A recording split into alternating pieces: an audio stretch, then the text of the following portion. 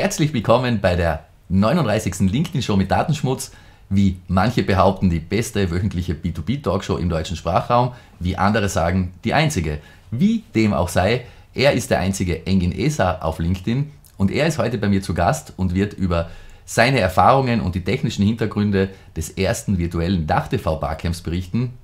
Das ging am 2. Mai über die digitale Bühne und war ein ganz, ganz grandioser Erfolg. Doch bevor wir in die jüngste Vergangenheit reisen, machen wir noch einen Ausflug in unsere Lieblingszeitzone, nämlich in die Gegenwart. Und da gibt es sehr Erfreuliches zu berichten.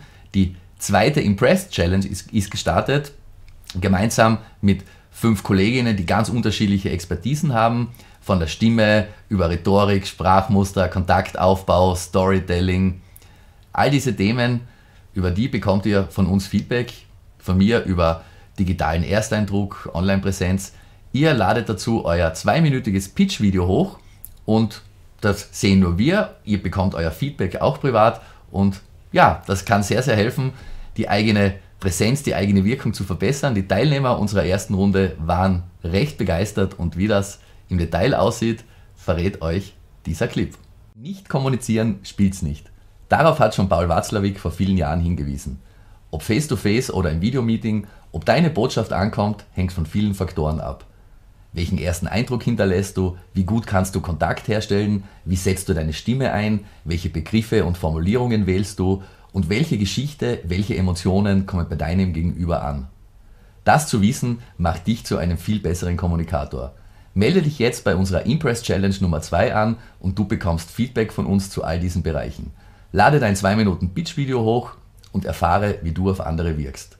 Vollkommen kostenlos, unglaublich wertvoll. Du hast dazu Gelegenheit bis zum 12. Mai. Lasse dir nicht entgehen. Wir freuen uns auf dein Video. Das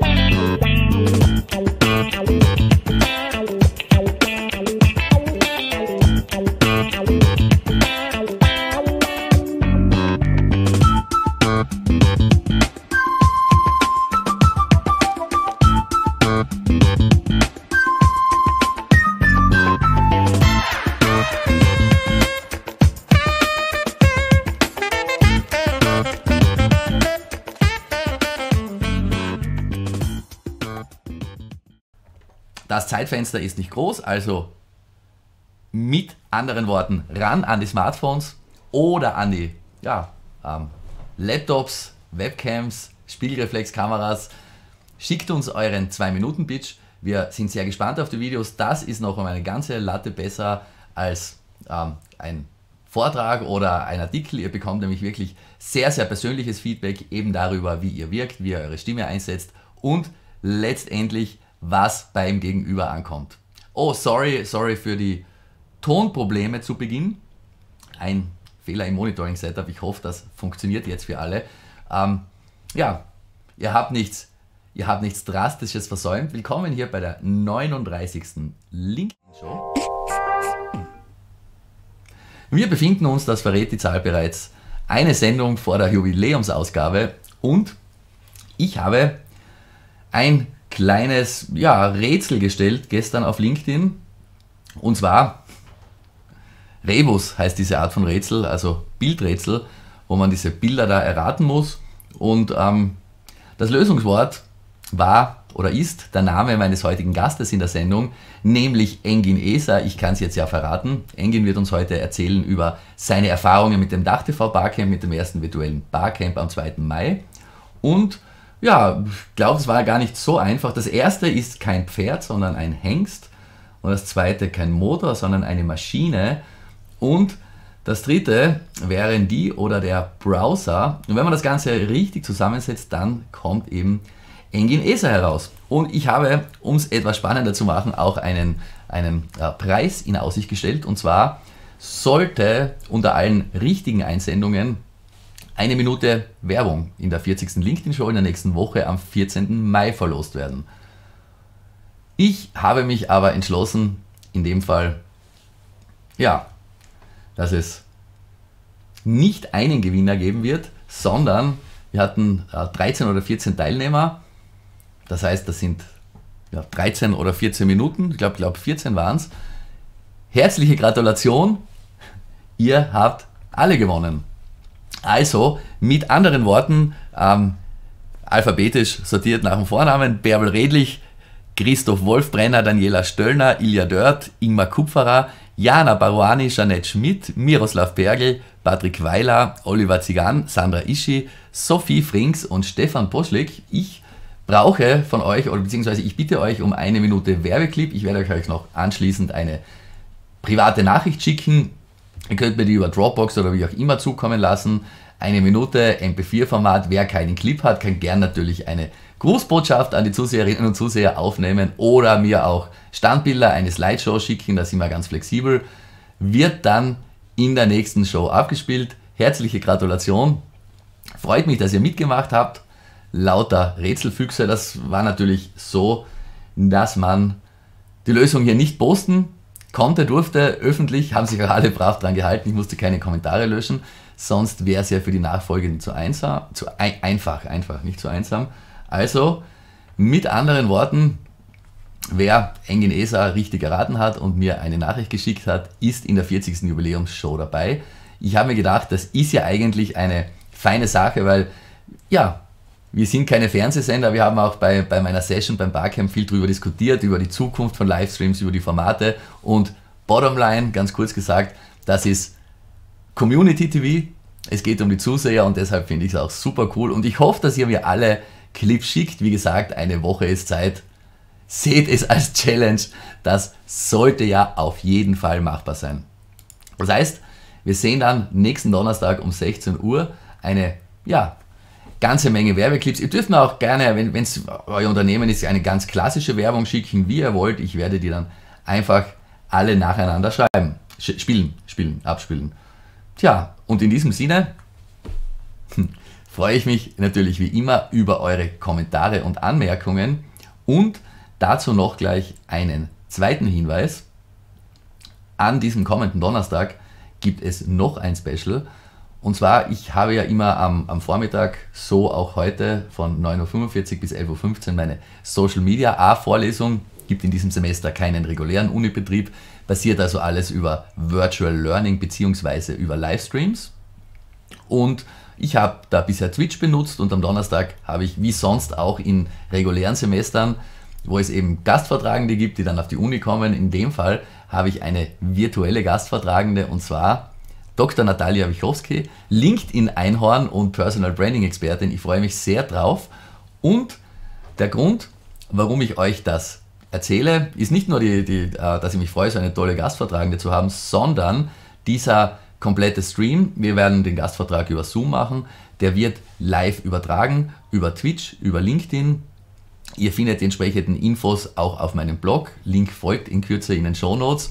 Und ja, wenn ihr dabei sein wollt, schaut euch das an. Ich glaube, das wird sehr, sehr spannend. Es wird auch selbstverständlich die Möglichkeit geben, Fragen zu stellen.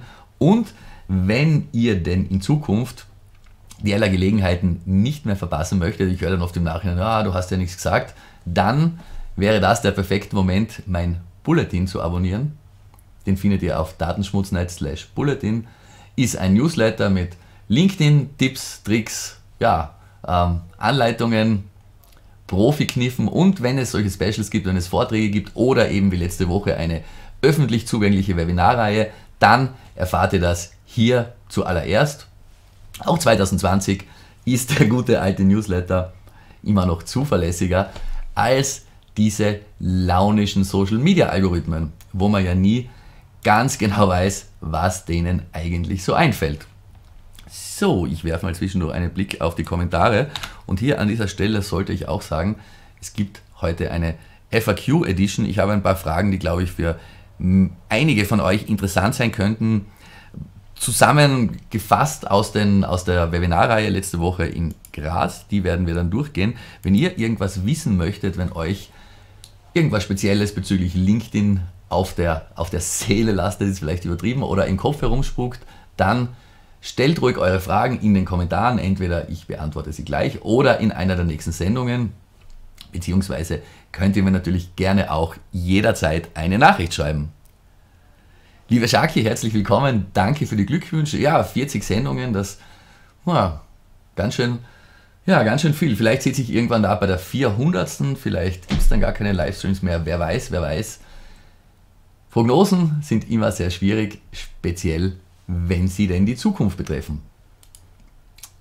In diesem Sinne kommen wir jetzt zu Frag den Richie und wie bereits angedroht heute in rascher Folge eine ganze Batterie. Ja, ich bin versucht zu sagen, geradezu ein Fragenfeuerwerk.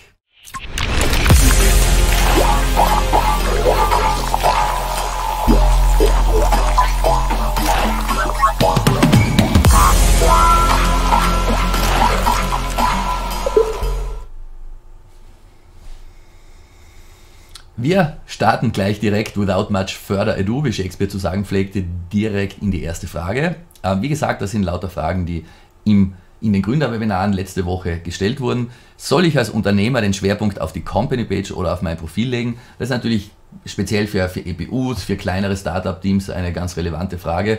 Wenn man als größeres Unternehmen, ich sage mal, keine entsprechende Infrastruktur oder auch kein größeres Team zur Verfügung hat, da ist die Antwort ganz, ganz klar. Company Page gehört angelegt, auch für EPUs, auch für kleine Startups, allein schon damit man ein Logo und eintragen kann beim Lebenslauf und eben die Company Page verlinken.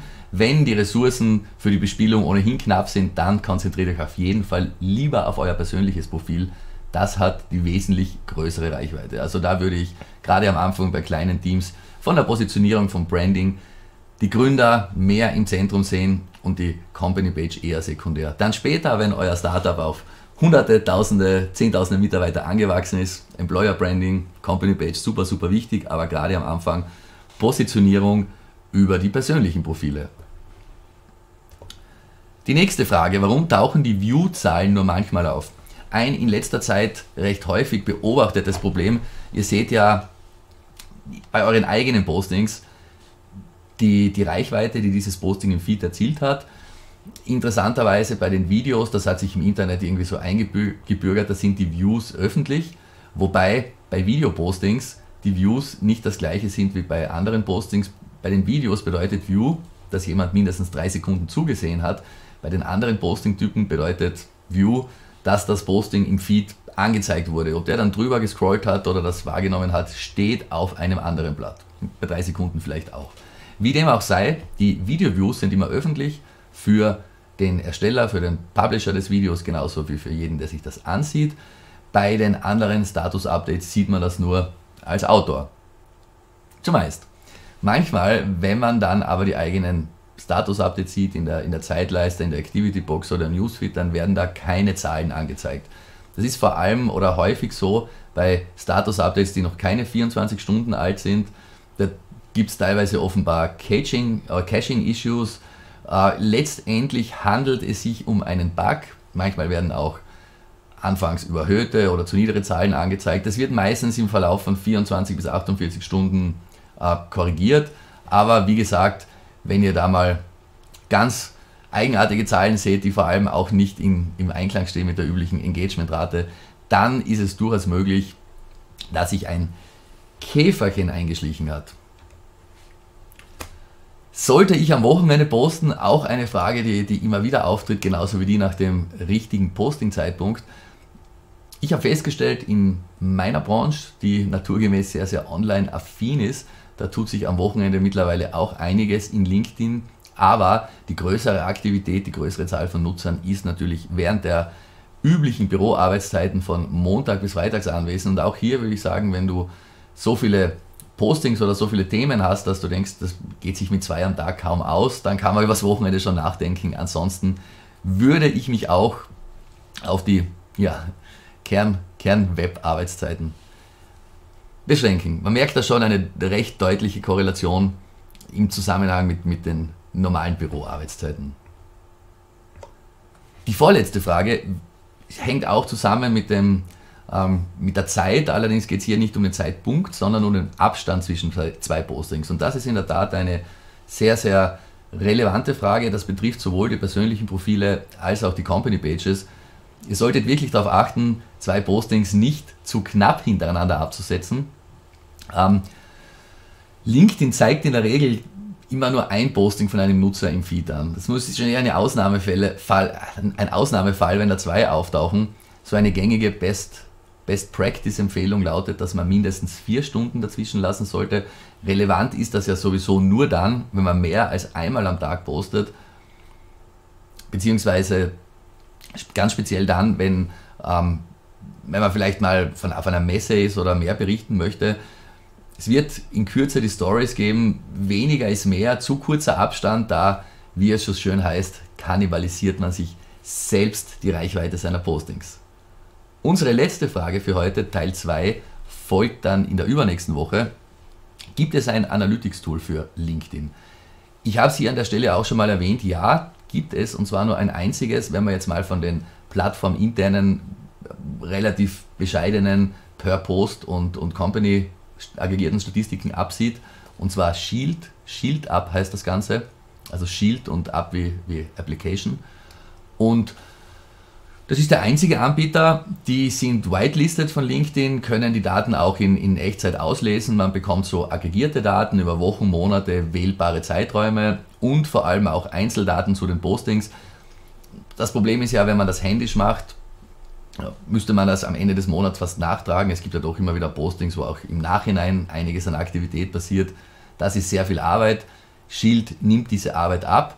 Der das Pricing für, für Unternehmen gibt es Volumen-Accounts für einzelne Nutzer. Wenn ihr euren eigenen Account damit laufend analysieren wollt, kostet das 8 Dollar im Monat bei jährlicher Zahlung, also 96 Dollar im Jahr.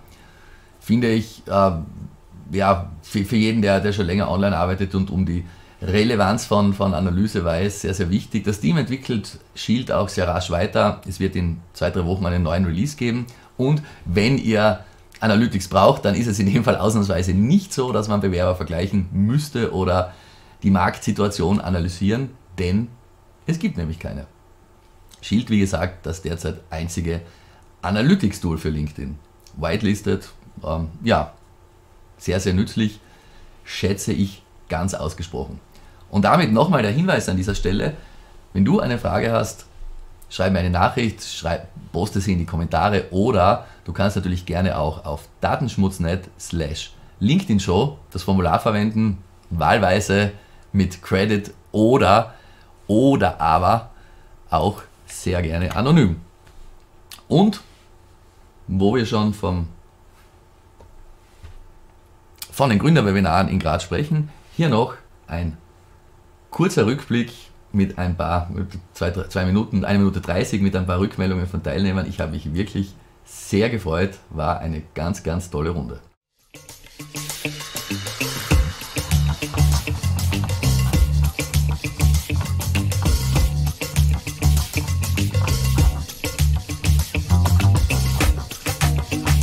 Die Gründungsakademie hat uns insofern geholfen, weil wir uns jetzt auf LinkedIn äh, hochprofessionell äh, präsentieren können und dadurch auch mit unserer Zielgruppe besser direkt in Kontakt treten.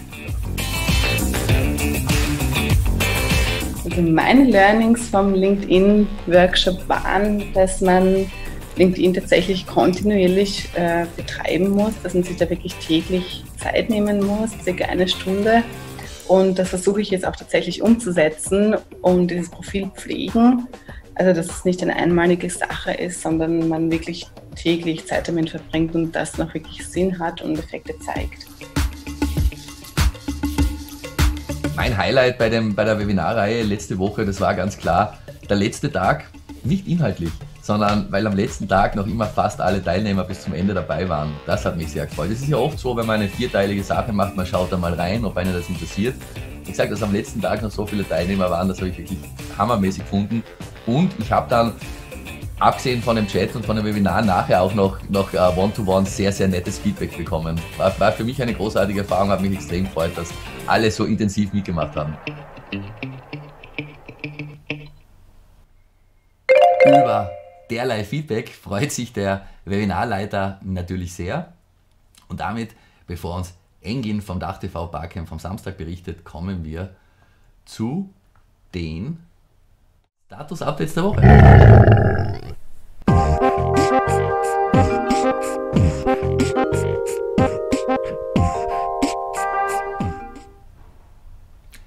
Jens Polomski, immer ganz am, am äh, Puls, Zahn der Zeit bei neuen interessanten Features, berichtet von einer Verbesserung beim Google Podcast Manager. Neben ähm, iTunes, Spotify, Anchor und den üblichen Verdächtigen betreibt ja auch Google eine sehr, sehr ausgedehnte Audio-Podcast-Infrastruktur. Wie üblich natürlich mit dem großen Vorteil, dass man diese Podcasts als quasi Suchmonopolist auch sehr eng mit der Suche verzahnen kann. Hm, anders gesagt, man, man möchte als Podcast-Anbieter dann natürlich auch sehr gerne vertreten sein in Google und die Funktionen dieses Podcast-Managers, die werden jetzt verbessert. Es gibt eine sekundengenaue Auswertung. Man kann also sehr detailliert rausfinden, ob es irgendwelche Absprungpunkte gibt, wann die Zuseher beginnen zuzuhören, wann sie, wann sie weggehen vor allem. Und ähm, ja, vor allem wie gesagt, sehr spannend die Kombination mit der Suche. Man kann jetzt die, die Eigentumsrechte an einem eigenen Podcast beanspruchen. Ich habe mir den Prozess noch nicht angeschaut und ihn dann über die Google-Suche in Google Assistant und in der Google Podcast App äh, eben ja, einer potenziell sehr, sehr großen Zahl von Nutzern präsentieren. Mein Podcast wird von Anchor an, an Google und die anderen Anbieter weitergereicht. Ja, sollte man sich sicherlich mal aktiv drum kümmern. Property claimen, und immer gut mit den eigenen Inhalten in der Google-Suche vertreten zu sein. Das aber nicht der einzige Hinweis von äh, Jens. Er hat auch einige Fakten zu den bereits in, der, in letzter Zeit mehrfach erwähnten LinkedIn Stories, die kommen so sicher über uns wie das Amen in der Kirche, beziehungsweise in Brasilien gibt es sie bereits. Interessant, nur auf mobilen Geräten verfügbar. Die Länge der Videos ist liegt bei 20 Sekunden und wie man es auch von Instagram kennt, grundsätzlich sind die Stories 24 Stunden verfügbar, können aber auch in Sammlungen archiviert werden und via Privatnachricht geteilt. Außerdem wird angezeigt, wer die eigene Story gesehen hat. Scheint anscheinend nicht anonym, sondern, sondern offenbar mit Personen. Ja, hier gibt es auch einige Screenshots, wie denn eine solche LinkedIn-Story dann aussehen kann. Das oben mit den, mit den runden Icons, das kennt ihr, das ist ähnlich implementiert in, in anderen Plattformen. Und ja, vertikales Format mit den Stickern und, und den üblichen, hier in dem Fall natürlich ähm, ja, in Brasilien, in äh, Ojeto de Coche, wird sicherlich in den anderen Ländern auch nachgezogen werden. Und der Grund, warum LinkedIn da ausgerechnet Brasilien als Testmarkt ausgewählt haben könnte, der wird wohl auch damit zu tun haben, dass das eines der südamerikanischen Länder ist, in denen Social Media oder Internet generell zu einem sehr, sehr hohen Grad mobil genutzt wird und in dem auch das Story-Format auf Instagram, auf Facebook und auf anderen Plattformen noch überdurchschnittlich populärer ist als in anderen Ländern. Also warten wir mal. Kann ja manchmal auch ganz schön lange dauern, bis alle Features für alle Nutzer verfügbar sind wie zum Beispiel der Marketplace, den haben viele noch immer nicht. Von wegen Potenzial. Benjamin O'Daniel merkt hier vollkommen richtig an, dass auch in der LinkedIn-Suche noch sehr viel Potenzial steckt und vergleicht die Suche dann eben auch mit der, mit der Google-Suche. Da gibt es sicherlich eine ganze Menge an Signals, wie, wie Daniel hier vorschlägt. Man könnte neben den bloßen, der, den bloßen Keywords, die im Profil vorkommen, auch zahlreiche Social Signals auslösen, aus, äh, auslesen, wie oft etwa eine Person zu einem bestimmten Thema postet, letztendlich diese Dinge, die auch im SSI ausgewertet werden.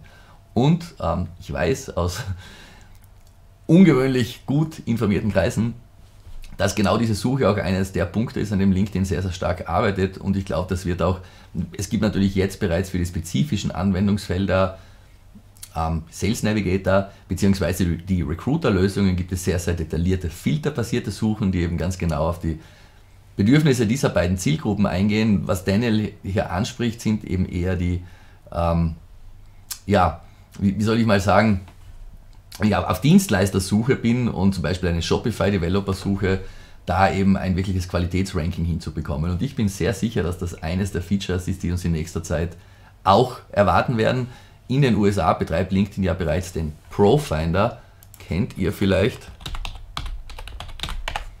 Das ist im Wesentlichen ein Marktplatz für trustworthy Freelancers in verschiedenen Bereichen, wird von LinkedIn selber betrieben. Wie ihr seht, ist hier auch mit dem LinkedIn-Profil verbunden. Man kann sich allerdings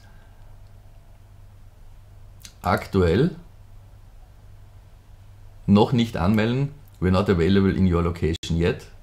We will notify you via email when we're accepting pros in. Ah, da klappt es nicht mit dem Auslesen der Namensvariable. Ist Österreich wahrscheinlich nicht groß genug. Aber da sieht man, denke ich schon, in welche Richtung das generell geht. Auf jeden Fall sicherlich ein spannender Punkt und viel Potenzial. Dr. Natalia Wichowski hat in ähm, ihrem Video eine sehr interessante Frage beantwortet, die sicherlich viele von euch kennen. What is the correlation between business or corporate branding and personal branding? Are they in competition with each other? Da geht es ja, wie gesagt, häufig darum, dass nicht jeder Selbstständige ganz selbstständig ist. Viele sind angestellt in Unternehmen oder man stellt sich vielleicht generell die Frage, wie soll ich meinen Account, wie soll ich das, wie soll ich das einrichten? Es ist relativ klar, LinkedIn ist, ist businessorientiert, Facebook ist privat, aber es gibt ja mehrere Business-Facetten. Beispielsweise jemand, der nebenbei sein eigenes Geschäft hat, wie geht man damit um? Wer sich mit dieser Frage beschäftigt oder wen diese Themen schon mal umgetrieben haben oder gar schlaflose Nächte bereiten, schaut euch dieses Video an. Die sieben Minuten sind hervorragend investiert. Wie immer in Kürze die Links zu den Status-Updates der Woche dann in den Show Notes. Thomas Wilhelm Albrecht, mein lieber Kollege von den Impress Speakers, er gibt euch im Rahmen der Impress Challenge Feedback zu den Themen Rhetorik, Sprachmuster. Der äh, weiß wirklich eine Menge, nicht nur über Rhetorik im engeren Sinn, sondern auch über Auftritte, was einen guten Auftritt ausmacht. Ich habe mit ihm viel darüber gesprochen und ich habe mich sehr gefreut. Thomas bietet kommende Woche von 11. bis 14. Mai jeweils um 14 Uhr eine Webinarreihe an, kostenlose Live-Seminare und zwar es geht um die 17 Faktoren einer exzellenten Rede. Am Montag sind Charisma, Sprachmuster, Emotion dran, am Dienstag geht es um Rapport und Energie, am Mittwoch um Storytelling und Metaphern und am Donnerstag um Format und Satirkörpersprache und eben weitere Themenfelder, die man als guter Redner mindestens kennen, aber im Idealfall eben berücksichtigen sollte. Ich denke, da kann man sehr viel mitnehmen. Ich werde es wahrscheinlich nicht dann jeden Tag schaffen, aber mir so viel wie möglich davon anschauen ja, sicherlich sehr, sehr spannend. Hängt ja alles zusammen. Oder wie Thomas, der übrigens nächste Woche bei mir zu Gast sein wird, auch zu sagen pflegt, die Fakten allein reichen nicht. Wenn die beste Botschaft falsch verpackt ist und nicht beim Publikum ankommt, ja, dann war es eben nichts mit der Rede oder dem Auftritt. Das heißt, ganz, ganz essentiell, natürlich, wir neigen immer oder sagen immer Form follows Function, aber eben, wenn die, wenn die Form gar nicht die Aufmerksamkeit erregt, dann ja, bemerkt das Publikum die Funktion vielleicht gar nicht. Und das wollen wir auf gar keinen Fall. Britta Behrens zündet am 12. Mai, also ebenfalls nächste Woche, gemeinsam mit Andreas Bersch und Alexander Böcker die LinkedIn-Rakete. Britta war ja bei uns hier auch in, in Wien mit dabei bei der Masterclass. Es gibt einen 3 Stunden Rundumschlag und zwar über LinkedIn Boosting, über LinkedIn Sales, dieses Thema übernimmt Andreas Bersch und über LinkedIn Ads, hier Profi Alexander Böcker am Werk. Und wer sich hier näher informieren möchte, eine absolut empfehlenswerte Veranstaltung. Drei Profis, ja, kein, kein Wischiwaschi, sondern direkt anwendbares, praxiserprobtes Wissen. Margarita Mischeva, ihr kennt sie auch aus der LinkedIn Show, hat sich diese Woche am Montag mit mir unterhalten wir haben ja mittlerweile schon etwas, ja, uns ein bisschen am, am eigenen Schopf wie Münchhausen aus der, aus der Krise ein wenig herausgezogen. Die Perspektiven ändern sich und ähm, ja, ein Gespräch über Digitalisierung und Post-Corona. Ebenfalls zu Gast sein durfte ich bei Thomas, der hat einen, ein finde ich sehr sympathisches Thema beziehungsweise einen netten Fokus für seine aktuellen Lives gefunden. Er fragt seine Gäste, was bei ihnen momentan richtig gut läuft. Und ähm, ja, Wen von euch das interessiert, was das bei mir so abseits der LinkedIn-Show ist, schaut rein. Hm, Verzeihung. Und damit kommen wir zum bereits zu Beginn angekündigten Interview mit Engin, Teil 1. Könnt ihr euch vorstellen, eine Veranstaltung für 160 Personen, 150, 160 Personen innerhalb von zwei Wochen komplett virtuell aufzuziehen? Das war eine ziemliche Glanzleistung und wie das funktioniert, soll uns Engin im Interview am besten selbst erzählen. Lieber Engin, es ist Montag, der erste Montag nach dem ersten Dach-TV Barcamp am 2. Mai, vor zwei Tagen, schon ausgeschlafen? nein, gar nicht. gar nicht, gar nicht. Überhaupt nicht, nein. Aber trotzdem nur ein richtig geflashtes Gefühl. Für, für die Zuseher, die das vielleicht nicht mitbekommen haben, war aber allerdings schwierig, wenn man sich die letzten Tage und Wochen auf LinkedIn aufgehalten hat. Es hätte ja in München am 1. 2. Mai ursprünglich eine Konferenz, die erste Dach-TV-Konferenz stattfinden sollen. Wie so vielen Veranstaltungen ist Corona da dazwischen gekommen, hat einen Strich durch die Rechnung gemacht und dann entstand recht spontan die Idee, anstatt dieser Konferenz ein virtuelles Barcamp zu organisieren. Und das hab dann du, Engin, der sich um die ganze Technik gekümmert hat, Hakan, der, glaube ich, viel von der Kommunikation, Webpage und so gemacht hat, und die Sandra übernommen. Äh, erzähl mal, wie ist es zu der Idee gekommen und hattet ihr schon geahnt, als ihr, als ihr das angekündigt habt, was da auf euch zukommt? Also ähm, grundsätzlich zur Idee ist einmal gekommen, natürlich auf, aufgrund der Situation, dass der Termin 1. und 2. Mai storniert worden ist vom Dach-TV-Gipfeltreffen. Und es wurden halt sehr viele natürlich enttäuscht. Wir haben nichts machen können aufgrund der Pandemie und ist halt einmal so gewesen. Und wir haben aber dann gesagt, ähm, beziehungsweise ich bin dann auf das hingegangen und habe einmal die Idee in den Raum geworfen und gesagt, Leute, ich weiß, wir schaffen das und können das abbilden, dass wir eine digitale Version draus machen. Egal was kommt, egal was ist, ich übernehme die Initiative. Und habe mir dann auch Hakan und Sandra an die Seite geholt diesbezüglich. Zu dem Zeitpunkt waren es auch nur, muss ich ehrlicherweise sagen, noch nicht klar, was kommt wirklich auf uns zu. Wir haben alle drei gewisse Erfahrungen in unterschiedlichen Eventbereichen, äh, sei es online oder offline, aber so wie im Endeffekt das Endergebnis war, jetzt vom Barcamp selbst, jetzt am Samstag, ich glaube, das hat keiner ahnen können, ja, wie sich das so entwickelt und ähm, was da alles eingesteckt worden ist und was wir da wirklich erarbeitet haben, was für Lösungen, dass wir da erarbeitet haben, sei es jetzt, egal ob die PR-Schiene, die Veröffentlichung nach außen in Social Media und aber auch jetzt im Backend der gesamte Technikaufbau. Weil es, es war grandios und es hat bewiesen eigentlich, dass man wirklich was machen kann, wo man interaktiv miteinander gemeinsam an Lösungen arbeitet. Und das war das Ziel und wir haben eigentlich meiner Meinung nach das Ziel bei Weitem übertroffen. Da muss ich gleich einhaken, ein Barcamp das ist im Normalfall keine Konferenz mit Zelten, bei der Cocktails ausgeschenkt werden, sondern genau. Barcamps sind so entstanden. Der, der Fachbuchpublisher O'Reilly hat im Silicon Valley zum Foo Camp eingeladen und da waren ziemlich viele ja, beleidigt, dass sie nicht eingeladen waren. Ich glaube, das erste war auf 200 Personen limitiert und haben dann okay. im Haus gegenüber das erste Barcamp veranstaltet. Barcamp deshalb, weil ja FUBA, der Platzhalter in der IT-Branche und deshalb eben Barcamp, eine Unkonferenz, O'Reilly hat, äh, die machen die, die FU-Camps auch immer noch, bezeichnen die als das Wikipedia der Konferenzformate.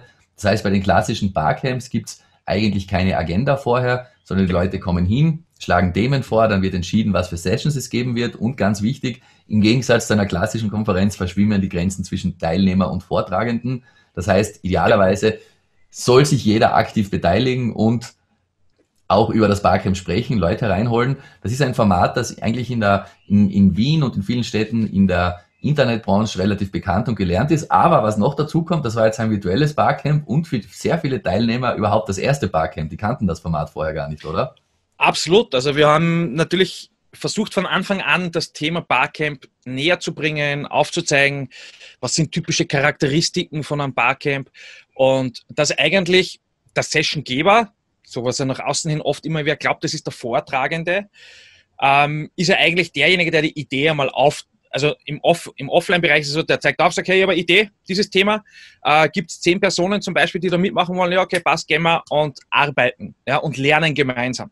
Und hier ist halt die Situation bei uns gewesen, das ist der einzige Unterschied zum Offline-Barcamp gewesen bei uns, ähm, dass wir aufgrund der Situation, dass es äh, in Bezug auf die Dach-TV-Gruppe entstanden ist, wir eine Exklusivität für diese Gruppe aufbewahren wollten, indem wir gesagt haben, liebe Leute in der Gruppe, ihr dürft die Sessions ausrufen. Und dann gehen wir erst komplett raus in die Öffentlichkeit, auch außerhalb der Gruppe. Und genau deswegen haben wir das so gemacht und äh, dementsprechend haben wir in die ersten zwei Wochen der Vorbereitung äh, aufgerufen, um die Themensammlungen zu machen. Also dass wirklich jeder aufzeigt in Form von einem Video und sagt, dieses Thema wird mich interessieren, egal ob ich der Profi bin oder der Anfänger, der gelehrt werden möchte. Jeder hatte die Chance.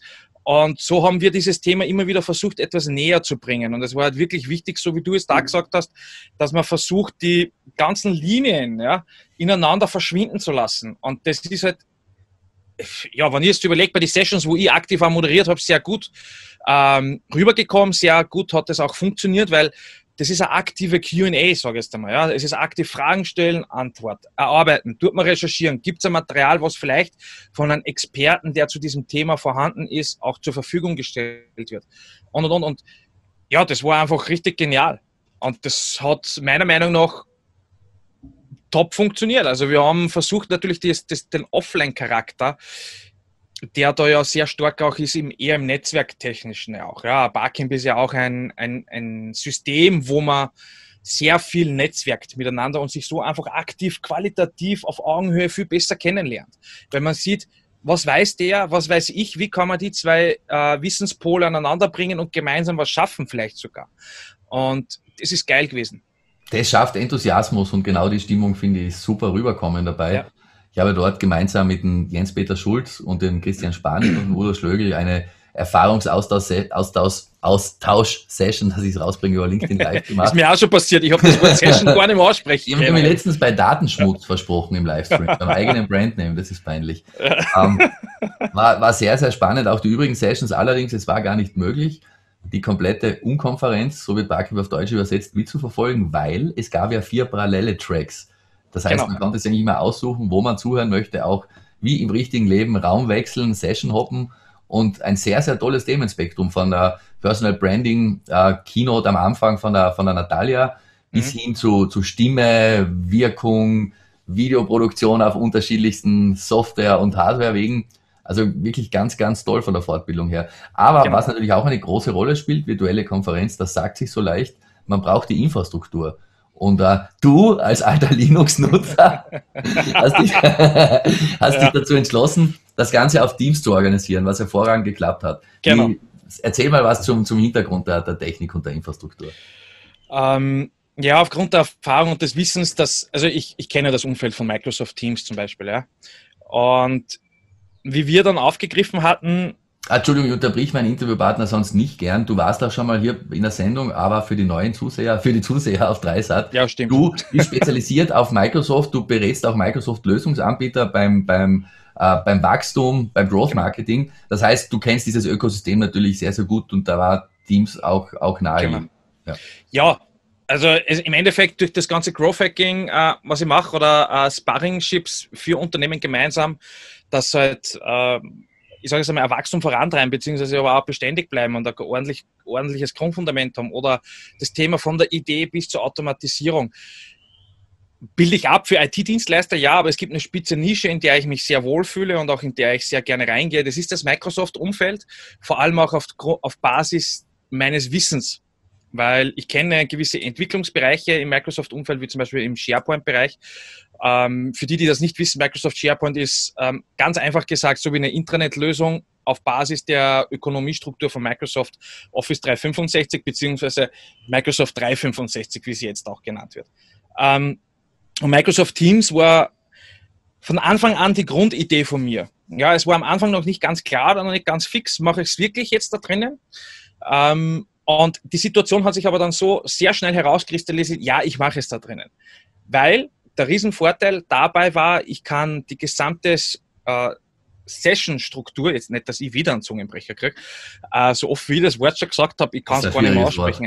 Äh, Session Board, ich habe ja ähm, von der Gesamtstruktur her das so erarbeitet, dass die User Experience, also wirklich diejenigen Personen, sei es Sessiongeber, sei es jetzt die Teilnehmer, die ein Ticket hatten und aktiv dazugekommen sind, ein zentrales Feld haben als ihre Straßenkarte. Und das ist einfach ein Board, ein virtuelles Board gewesen, wo alle Sessions dokumentiert waren. mit der Uhrzeit dazu und mit jeweiligen Buttons dazu. Hier kommst du zu dieser Session in diesen Raum rein, in diesen virtuellen Raum. Gleichzeitig auch alle Breakout Rooms. Zur Erklärung, ein Breakout Room ist ein Raum. Das kann man sich so vorstellen, wenn man es gemeinsam an etwas arbeitet und sagt, okay, man ist eine Gruppe von 15 Personen und diese splittet man auf drei Gruppen zum Beispiel. Dann sollen sich alle drei Gruppen zu je fünf Personen in einen Raum befinden und in kleinerer Gruppe an ihrem spezifischen Thema arbeiten. Dann kommen sie wieder zurück in den, in den Einheitsraum, wo sie dann gemeinsam die Ergebnisse vorstellen. Das haben ja wir auch zur Verfügung gestellt, in dieser Art und Weise auch ein Networking Room, also Café und Networking Room für Pausen dazwischen, während der Zeit der Mittagspause, die wir eingebaut haben. Und ja, das haben wir halt alles abgebildet in Microsoft Teams, was der Riesenvorteil ist. Ein Team ist so, man kann sich so vorstellen, einfach normalerweise sowas wie eine Abteilung ja, ist ein Team. Das ist jetzt ein Oberbegriff. Du hast ein Team, wie es wir zum Beispiel genannt haben, das Team des Barcamps. Und in diesem Team stellst du virtuelle Kanäle zur Verfügung, also virtuelle Räume. Und diese virtuelle Räume erarbeitest du und achtest natürlich auf gewisse Kleinigkeiten, auf gewisse Punkte und das Ganze, ähm, damit man dementsprechend es ermöglichen kann, dass jeder hin und her switchen kann. Sehr einfach und ohne wirkliche Komplikationen. Ja, ich würde sagen, also ich würde lügen, wenn ich sage, es gibt, gab keine Komplikationen. Es gab auch Komplikationen. Es ist immer, man, man muss davon ausgehen, jeder Anwender, der gekommen ist, hat einen unterschiedlichen Wissensgrad. Und wir haben dementsprechend auch versucht, das so abzubilden, dass jede Information nach außen hin geteilt wird, wie wer was wo findet und warum das auch so ist. Und warum wir auch Microsoft Teams genutzt haben. Auch gleichzeitig, und das ist einer der größten Punkte gewesen, ähm, dass wir auch den Punkt des Datenschutzes sehr gut aufgreifen können da drin, weil wir zentralisiert an einem Ort blieben.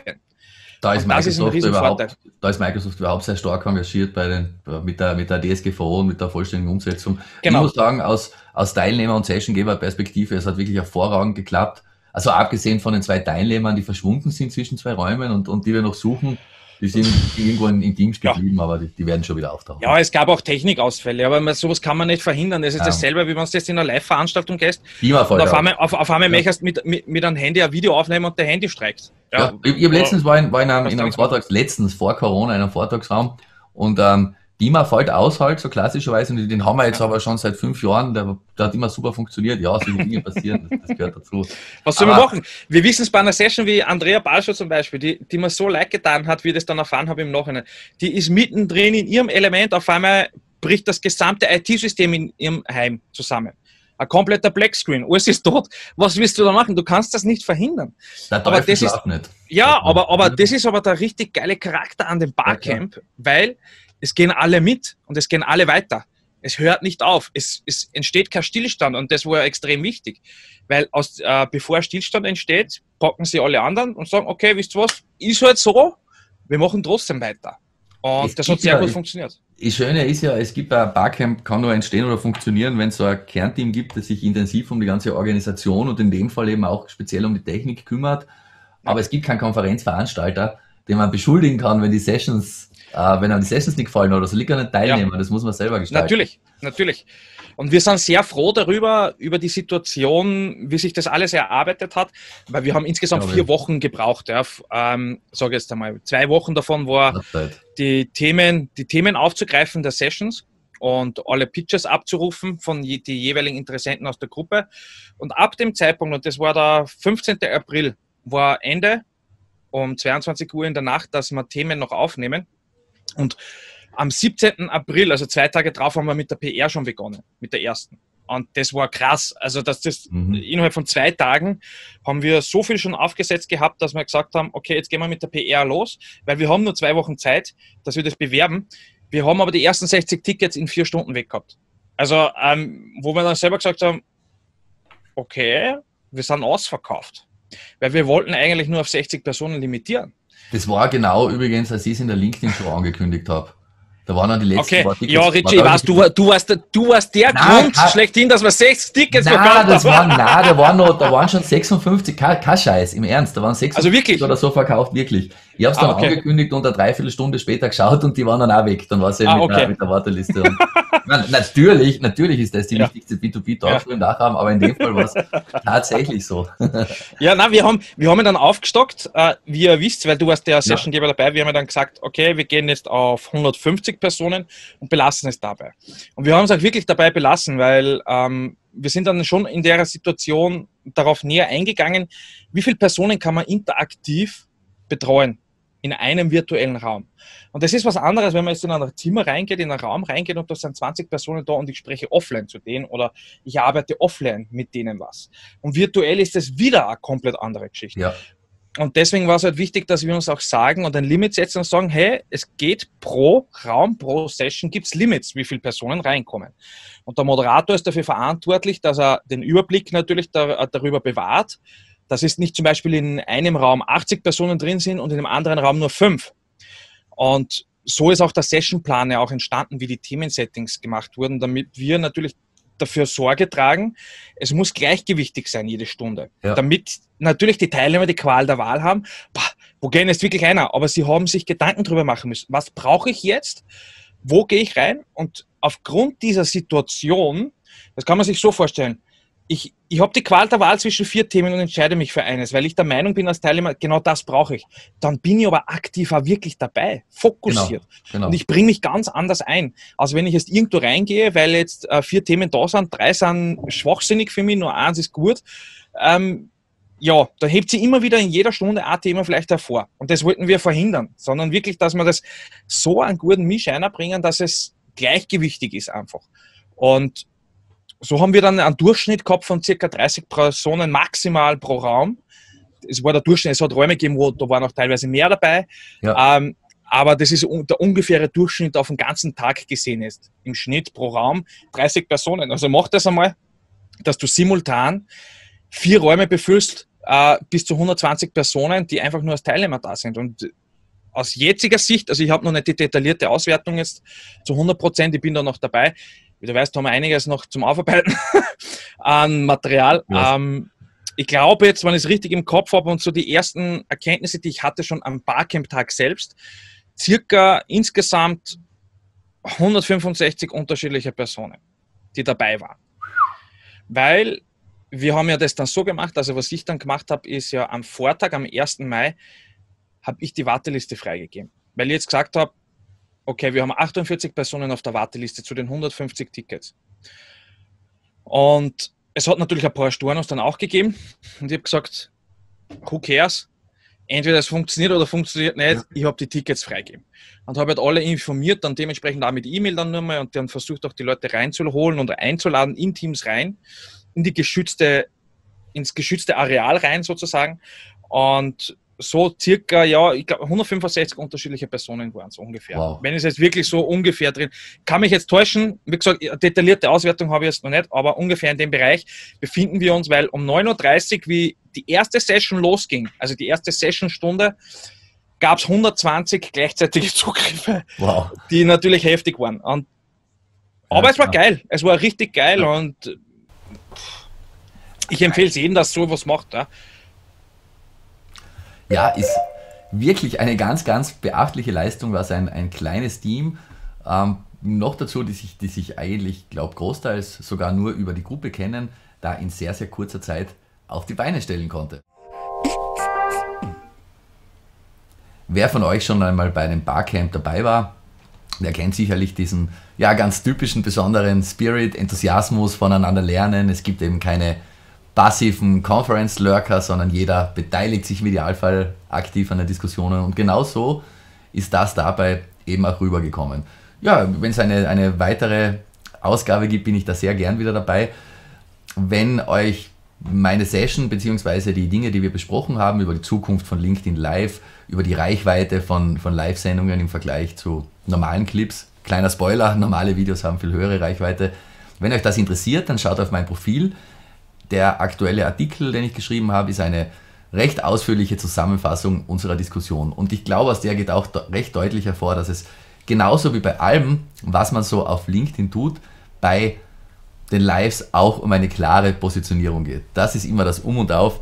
Das ist super, super wichtig. So, und bevor wir uns den zweiten Teil des Interviews anhören, werfe ich nochmal einen Blick nach links, respektive in die Kommentare zur heutigen Sendung. Vielen, vielen Dank. Ich freue mich natürlich immer so sehr, sehr über Rückmeldungen. Aha, das passiert, wenn man sich verklickt und den eigenen Livestream während des Livestreams aktiviert. So, Kommentare. Herzliche Grüße nach Bonn. Es ist schade, ja, wie gesagt, OBS spielt die Kommentare zurück, zeigt aber die Namen nur teilweise an. Ich nehme mal an, das hat mit den Privacy-Einstellungen zu tun. Ja. DachTV, Barcamp, Microsoft Teams, ein sehr, sehr leistungsfähiges Produkt, auch mit, mit äh, großer Teamware-Infrastruktur dahinter angeschlossen und wie diese technische Implementierung im konkreten Teil funktioniert, beziehungsweise auch sehr gut funktioniert hat am 2. Mai, das erzählt uns Engin im zweiten Teil des Interviews. Du als, als ähm, Teamsmaster und Teil des Organisationsteams warst natürlich im Vorfeld, aber auch während der Veranstaltung ganz, ganz heftig im Einsatz. Mhm. Ähm, hast, konntest du inhaltlich was mitnehmen? Hast du von den Sessions was mitbekommen? Oder? ja, aber ich weiß, das ist eine sehr, sehr böse Frage. Ähm, ja, konnte ich. Äh, ich war ja eingeteilt in drei Sessions als aktiver Moderator insgesamt. Oder waren es drei? Na, zwei am Vormittag und zwei am Nachmittag, sowas. Mhm. Ich habe beabsichtigt die erste Stunde nichts gemacht mit Sessions, sondern bin jede Session durchgesprungen. Das haben wir die wenigsten ja. mitbekommen und geschaut, passt alles und funktioniert alles, passt die Technik und so weiter. Und gleichzeitig der IT-Support im Hintergrund und auch der komplette Teilnehmer-Support. Und dass alles stabil bleibt. Ähm, war einiges zu tun, das hat sich auch herausgestreckt bis zur Mittagspause, auch während den Sessions, wo ich aktiv als Moderator war. Und da war schon der Vorteil, dass eigentlich die Sessions sehr gut gelaufen sind wo ich jetzt nicht abhängig war von der Session. Also ja. die waren nicht von mir abhängig in der ja, Session, sage ich jetzt. Ich bin als Moderator reingegangen, natürlich habe die Einführung gemacht, ich habe die Hinweise gegeben, auch was den Datenschutz betrifft, die Aufzeichnungen und und und.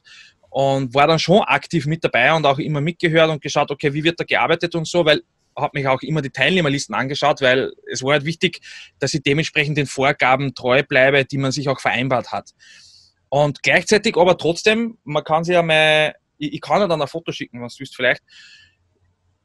Ich habe drei Schirme vor mir gehabt, ein Smartphone. Habe ich jetzt den vierten Schirm auch noch dabei gehabt? Weiß ich gar nicht. Nein, nein drei Schirme, ein Smartphone, ein Mikrofon, zwei Kopfhörer. Und ich habe versucht, irgendwie da halbwegs einmal nur dran zu bleiben. Aber es hat funktioniert und das war das Wichtigste. Und ich war froh, wie die Mittagspause war, aber ich habe irgendwie die Mittagspause nicht so richtig genießen können, weil während der Mittagspause ist auch noch mal weitergegangen. Und die war ja von 12.30 Uhr bis 13.30 Uhr. Und meine echte Pause an diesem Tag war wirklich 13 Uhr bis 13.20 Uhr, glaube ich, ungefähr so. Habe ich Mittagessen da, weil sonst war ich vom Stuhl gefallen, glaube ich. Aber also, es hat funktioniert, es hat passt und es war jeder zufrieden. Also das Geht war das Wichtigste. Geht sie locker auch gängiges Menü aus? Ja, absolut. In 20 Minuten kriege ich gescheit für ein. Also ja. wenn es drauf ankommt, dann geht's. Ja. Würdest du es wieder machen? Ja. Aber eins muss ich dazu sagen, ehrlich, und jeder, der mich fragt, dem werde ich sicher dasselbe sagen. Ich werde es sicher nicht mehr kostenlos machen. Sage ja, nur mehr dazu, wir haben es natürlich aufgrund der Community gemacht. Das ist ein komplettes Community Management gewesen, Community-Projekt. Das war ein Test auch. Ähm, gleichzeitig war es auch ein Test, unter Anführungszeichen, dass wir natürlich noch andere Erfahrungswerte sammeln. Aber jeder, der mich fragen würde, es ist so, dass das kannst du nicht mehr einfach so jedes Mal machen, weil du so viel so Kraft du eine investierst. Und sicher, wenn man das Wissen hat, ist leichter, das ist klar.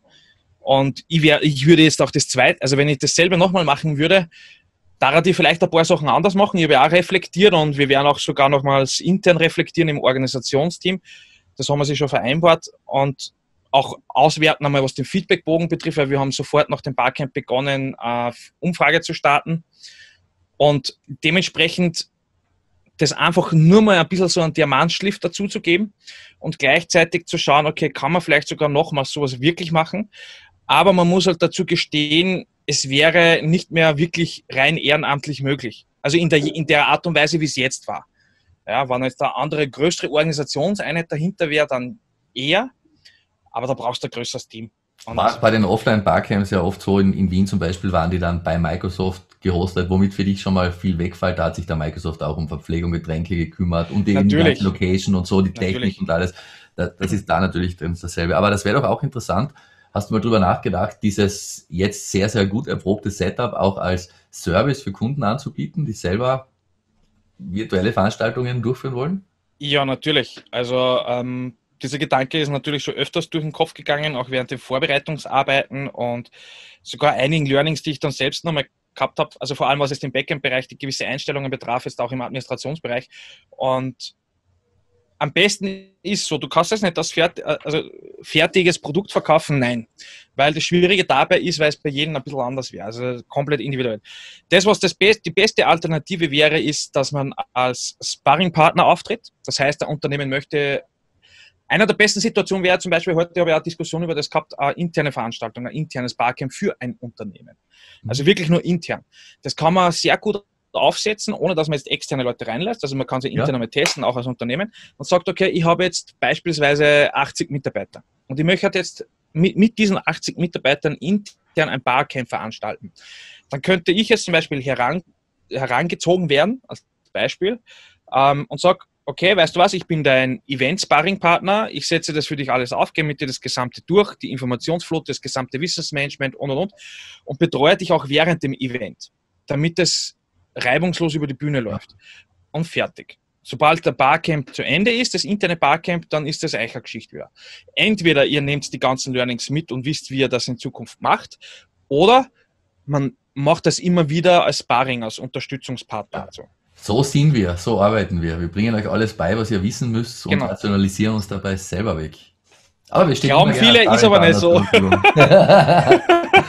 Nein, aber das, das, das kann man im In also sorry, dass ich, dass ich, dass ich da unterbreche, aber im internen Aspekt ist das einer der Ja. effektivsten Methoden, glaube ich, dass man ein richtig geiles Wissensmanagement-System aufbauen kann und sich arbeiten kann, neben einer, weil der Teams ermöglicht ja genauso auch, dass du jetzt sagst, du machst jetzt eine komplette LMS draus. Ja?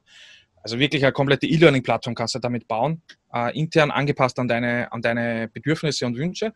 Und diese Möglichkeiten bestehen. Ja, es gibt hunderte andere Tools. Auch im Endeffekt kann es egal sein, welches Tool. Ja, egal, ob es Microsoft ist oder nicht. Wichtigste ist meines Erachtens wirklich, dass es so angepasst wird, dass es für jeden Mitarbeiter ordentlich zugänglich ist. Das ist halt einer der wichtigsten Aspekte. Aber liebe Unternehmen, vorsichtig sein, bevor ihr jetzt den Engel kontaktiert wegen eines internen Barcamps. Es könnte dann passieren, dass plötzlich einzelne Abteilungen beginnen miteinander zu sprechen. Das haben wir früher auch nicht so gemacht. Ja. So wie sie, äh, wir haben es genannt heute, ich habe das heute gelesen, der, ein Bar, internes Barcamp ist etwas, was, ah, wie sagt man da? Es gibt ja die, wie nennt man das? Da, wo die Abteilungen, es fällt mir das Wort nicht ein. Walled Gardens oder, oder Nein, wo die Abteilungen nicht miteinander kommunizieren. Normalfall. Normalzustand. Ja, normalerweise, ja, normal, ja, okay, bei, bei vielen Unternehmen ist es ein Normalzustand. Ähm, es fällt mir das Wort nicht ein. Ich sage so jeden Tag. Nein, mir fällt es nicht ein. Ich bin einfach steppert gerade. Ähm, ja, kann passieren. Wir werden die Lösung Ich weiß es nicht. Auf jeden Fall. Ja. Ich weiß nicht. Vielleicht wissen es die Zuseher. Schreibt das in die Kommentare rein, keine Ahnung. Äh, vielleicht kannst du meine Gedanken lesen. Das ist ein wunderschönes Schlusswort. Lieber Engel, danke dir. Bis, bis zum nächsten Livestream oder hoffentlich bald auch mal wieder bis zur nächsten Face-to-Face-Gelegenheit. Ansonsten, ansonsten müssen wir halt 2021 die Jubiläumsfeier zur 15-Jahresfeier von Datenschmutz dann, dann auch virtuell über die Bühne gehen lassen. Du hast nächstes Jahr 15 Jahre Ich Jubiläum. nächstes Jahr 50. Ich habe im September 2006 Boah, begonnen. 15 mit dem Jahre Blog. Datenschutz. Aha. Ja, es ist Wahnsinn. beängstigend. Wahnsinn. Ja, ja, das Wahnsinn. kann man, so wie bei den, ähm, du hast ja gesagt, ihr habt, ihr habt die, die Kreislerei, oder?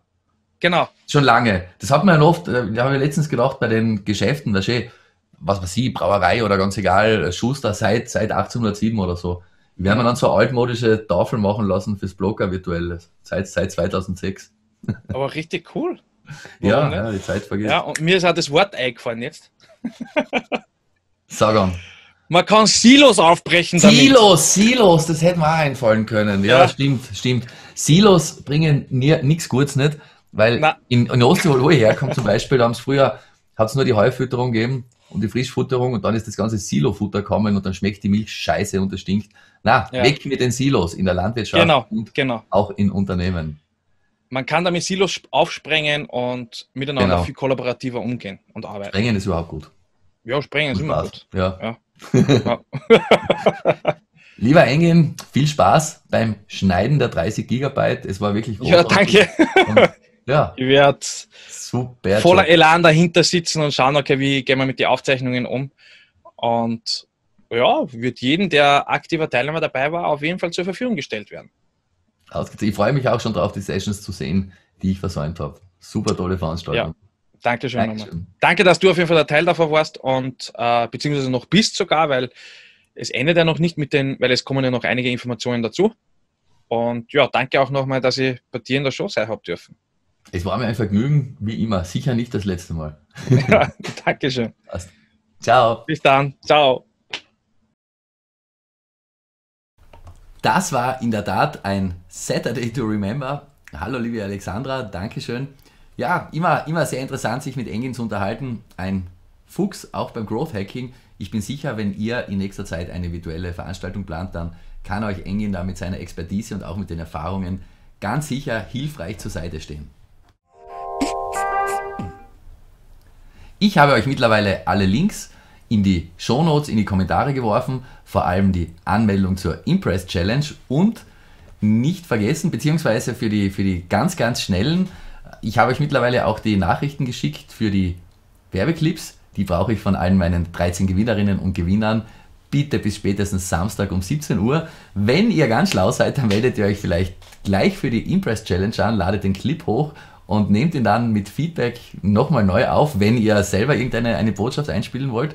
Ähm, hat mir auf jeden Fall sehr geholfen bei den Videos. Ich bin auf jeden Fall wahnsinnig gespannt und ja, schon sehr, sehr neugierig drauf, welche Clips ich von euch bekommen werde. Und auf gar keinen Fall vergessen, ebenfalls nächsten Donnerstag vor der 40. LinkedIn-Show, nämlich um 9.45 Uhr in der Früh, Gastvortrag über Personal Branding in meiner Uni-Vorlesung öffentlich über Livestream zugänglich mit Dr. Natalia Wichowski.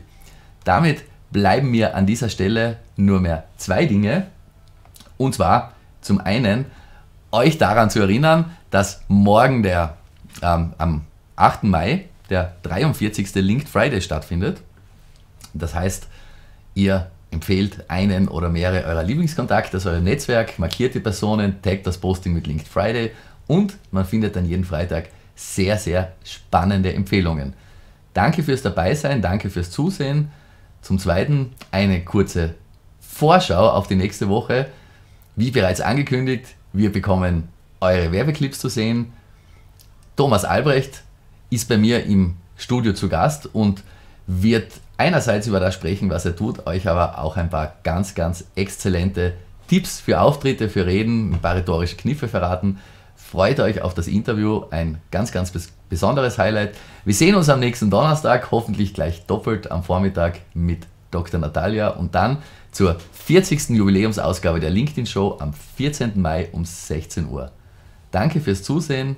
Es war mir ein Vergnügen.